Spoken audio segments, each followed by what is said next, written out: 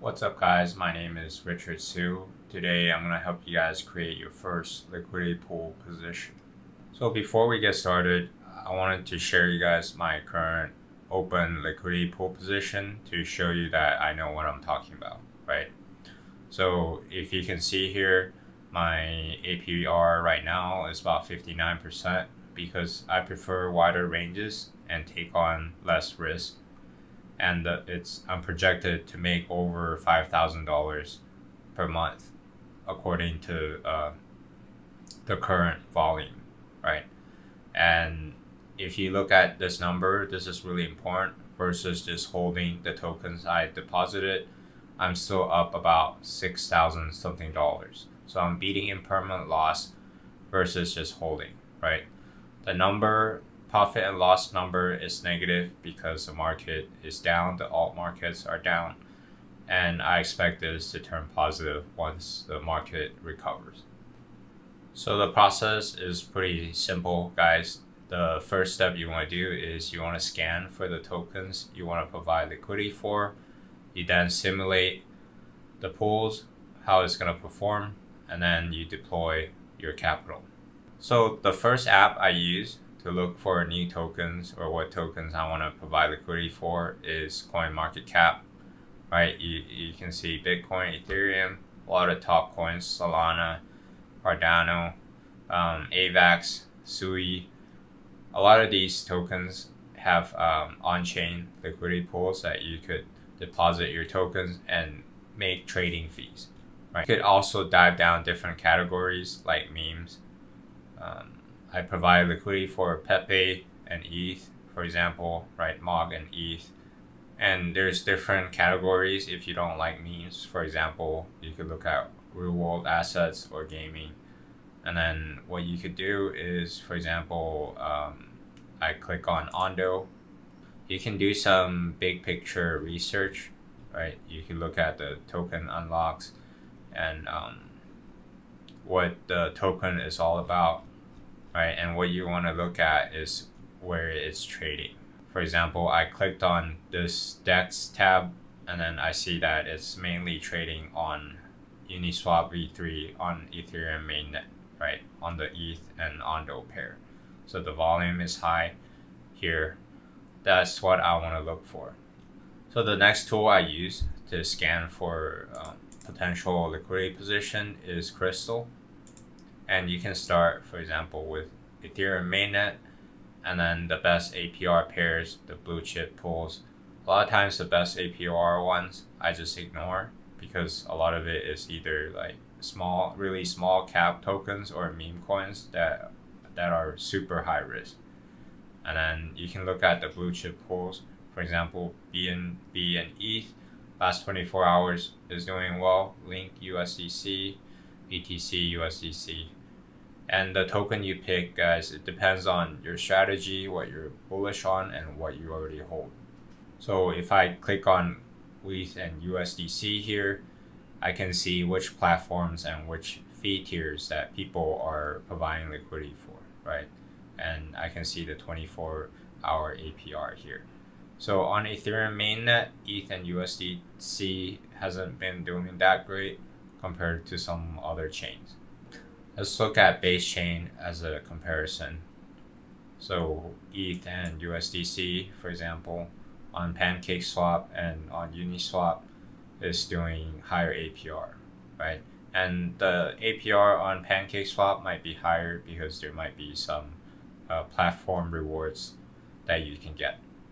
And the next tool you guys could use to look for tokens and pools to provide liquidity for is DEX Screener you want to make sure this is on last 24 hours you click on top top volume and then you can see a lot of uh, tokens for example ETH USDC we just looked at on Ethereum mainnet Uniswap stuff like Sol USDC or BNB USDT on these different chains or platforms. Today we're going to focus on ETH and USDC just because crypto and stablecoin pools are usually lower risk for beginners. This is great guys because you can see the different platforms, different chain you're looking for. Let's say you want to LP for ETH and USDC. Base might be good, Aerodrome, or ETH mainnet, or we if we scroll down right Arbitrum on Camelot, and the the next step you want to look at the chart and see if everything checks out right. This is the Ethereum weekly chart. As you can see, the price have retraced quite a bit, but it's there's some support at the 100 period weekly moving average, and I do expect that the price would recover and potentially move much higher into the run. So here you could already mark your levels, what range you want to set, right? For example, I could set $2,000 on the downside and then maybe 4,500 on the upside. This is wider than most people do it, but this is just my strategy. Your strategy could be different. Um, and I'll explain why I do this. Then the next thing we want to do is go to revert finance. You click on top positions, right? Make sure it's on all networks. You click filter, you put in the assets you want to LP for ETH, USDC, or USDT, right? And you want to make sure you're filtering the age from six at least 60 days to maybe 180 days or higher just to filter out the newer pools that might have good APR but doesn't have a good track record yet, right? So here you guys could see the different chain and different platform that people are providing liquidity for and their profit and loss, their APR. All these information are are very important in providing you the information that you need to select which pool you want to go for. So if we're looking at the first one here, the APR might be good, but it might not um, have a good track record either, right? Even though the position age is 150 days, um, you can see they deposit and withdrew a lot, so we don't know the actual profit and loss, right? And it's, it's not in range a lot of times. So this these are what you want to ignore and maybe look for a position like this, right? The US dollar value is low, but the fee APR is pretty accurate. So if you see here, right, they only deposit a couple times. There's no withdrawal, so the APR should be fairly accurate. As you can see, they set a range of $2,500 on the downside and then $4,000 on the upside and you can see versus holding the fee APR is about 57%. So now that you know the chain and the platform you want to provide liquidity for, we're going to hop over to Metrix Finance next. So in this example, we're using Uniswap and Base, right? I put ETH, WETH, and then USDC. I'm going to go for the 0.05 fee tier I click simulate and this will pop out. So ETH is about 2650 right now. And this graph shows you the liquidity di distribution. So if it's like a really sharp like this, it means liquidity is concentrated in this area. For this example, we're depositing about roughly one ETH, right? Deposit amount 2650. And I'm setting the lower range at 2000 and then the upper range at 4500 just as an example. And if you look here this is the amount of USDC you need to swap into and this is the amount of ETH you're willing to hold. And I can set my calculation range up to 90 days or if you want more recent data you could drag this down.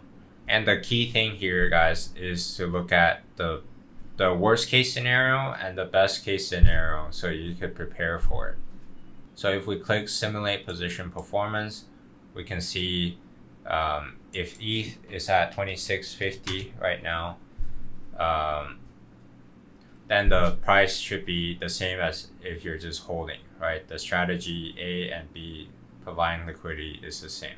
But let's say ETH drops to $2,000, right? Your lower range. What would happen? So this is what would happen, right? You're your ending ETH balance is one point around 1.05. Um, you gain 0.05 ETH, but if you held the US dollar value would be more. And it takes about 60 days to outperform the strategy A. and you, you, you need to pay for the pro version to edit this number, but it's still a great tool if you're using a free version.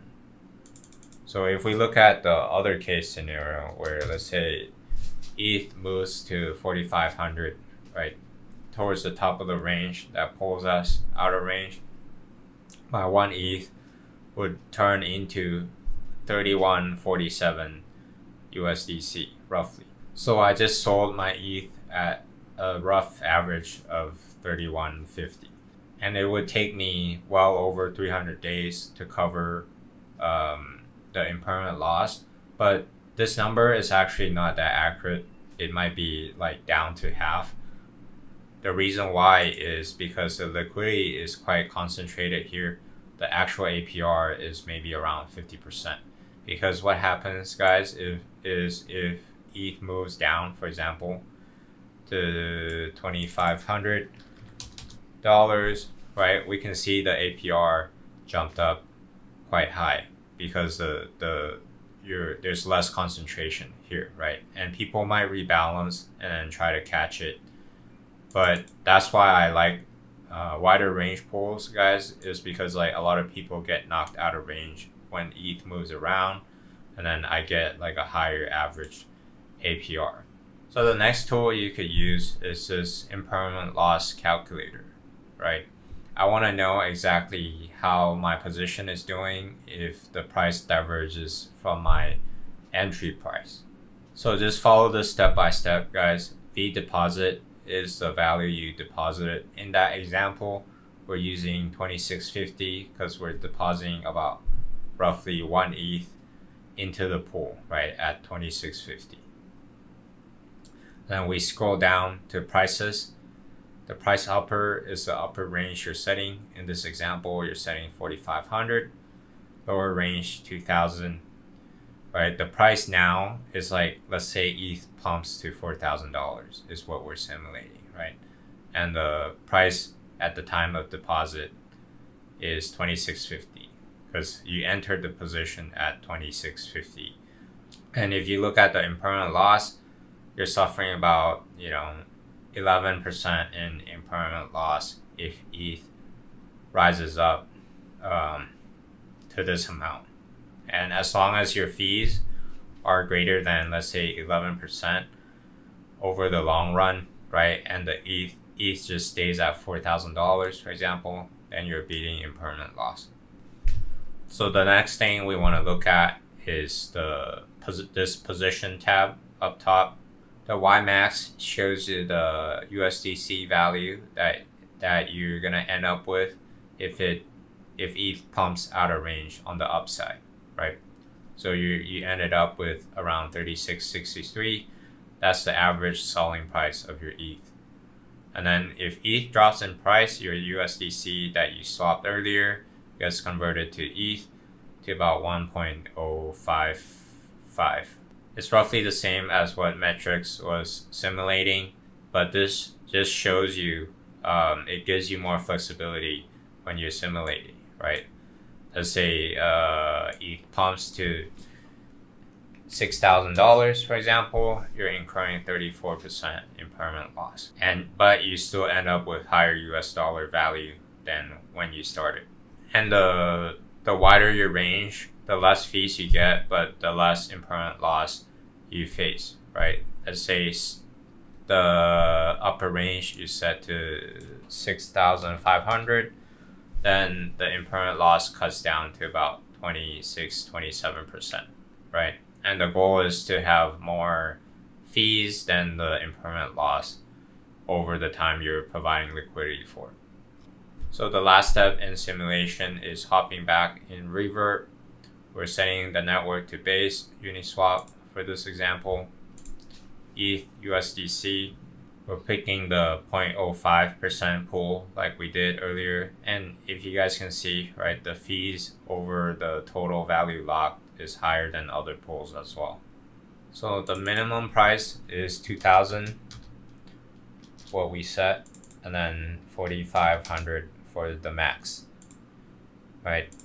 I put in one ETH just as an example. It shows you, you know, the amount you swap and I run back tester. And here you can see your, your fee, average fee over the previous 30 days, right? Since our range was pretty wide, we were in range 100% of the time. You can compare the performance against holding. The APR sometimes is not accurate, guys. So for example, we pulled in $110 in fees just by putting in one ETH in the last 30 days, right? So if you go 110 times 12, right, you analyze the fee divided by 2650 is what we put in in terms of USD, right? We're looking at roughly almost 50% APR rather than the 15%. And if you guys go back to Metrix, we can see that number is higher than 30%. So if we hop back to the calculator and we input that ETH pumps to $5,000, we can see our impermanent loss is around 24%.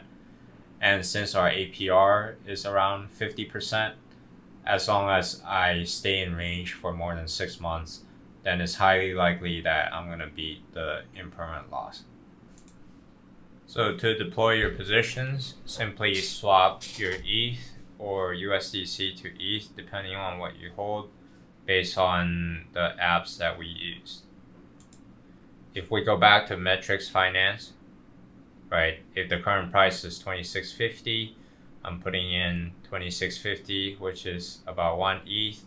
I need to swap about 950 USDC, right? I'll just go ahead, make sure ETH is selected on base, USDC on base, right? I put in 950. Then I'm gonna sign and swap this amount. Then once I have that, I'm gonna click pull, new, select the pairs. We go to base, right? ETH base, and then USDC base. And make sure you're selecting either V3 or V4. V4 is new, guys. I haven't tested the fees, but I, am still using V3, right? You can use V3 too. V3, let's do 0.05%, like what we had. Right, we're gonna do custom price range.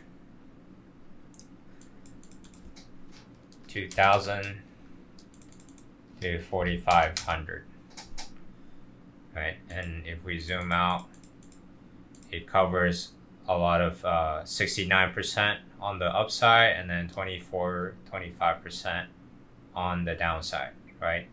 We're gonna click continue. And then if I input the amount of what I put in before 950, it takes about 0.6 ETH, which is roughly um, a little bit less than Metrix Finance had because ETH's price moved a bit, right? And once you have that, you just uh, create the position, then you're all set. And then you can track your position after that. So some final thoughts, guys. You want to start with wider ranges just because you could make mistakes and the mistakes are much less costly if you start with wider ranges. Don't deploy all your funds at once when you're still learning because if you make mistakes again, you're gonna be losing a lot of money. Understand the risk reward and what's the upside, what's your downside. Look at my other videos to help you mitigate some of those risks.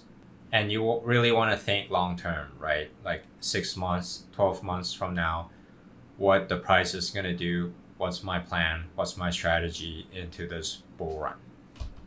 Then the last step is just to monitor and adjust if needed, rebalance when things moves against you, and then you constantly improve your process. Thanks for watching. If this video helped you out, hit that like button and subscribe. I'll see you guys next time.